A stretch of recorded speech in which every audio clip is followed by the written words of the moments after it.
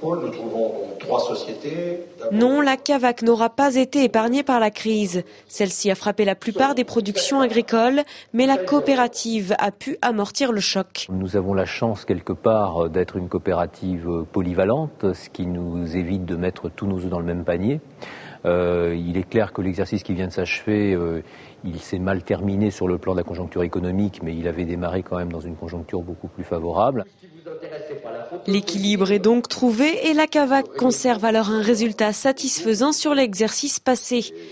Une réussite basée sur le principe de la coopérative, une stratégie de réseau qui permet aux producteurs d'assurer la vente de leur production. Aujourd'hui, je serais producteur de porc euh, individuel à la rigueur comme je pourrais l'être. C'est-à-dire individuel, j'ai pas de débouché d'assurer. C'est-à-dire je produis mes porcs et après je ne sais pas qui je les vends. Donc une chose qui n'est pas tenable de toute façon.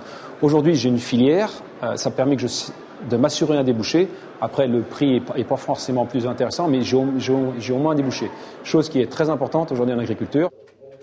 Pour la CAVAC, les dégâts de la crise sont donc maîtrisés. Et même si pour le monde agricole la crise n'est pas finie, la coopérative sait bien quel projet développer pour lutter contre la conjoncture continuer à pérenniser nos débouchés et ça sur un, sur un temps de plus long, au meilleur prix bien entendu. Et pour ça, il faudra continuer à passer les partenariats. Il faudra aussi continuer à innover, rechercher demain les pistes de productivité pour les sociétaires.